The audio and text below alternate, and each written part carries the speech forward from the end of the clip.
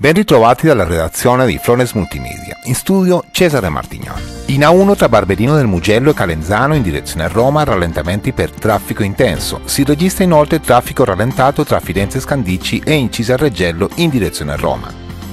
In A11 tra Montecatini e Chiesina Ozzanesi in direzione Pisa traffico rallentato per materiali dispersi in carreggiata. In A12 tra Pisa Centro e il bivio A12 diramazione per Livorno in direzione Rosignano, coda per lavori.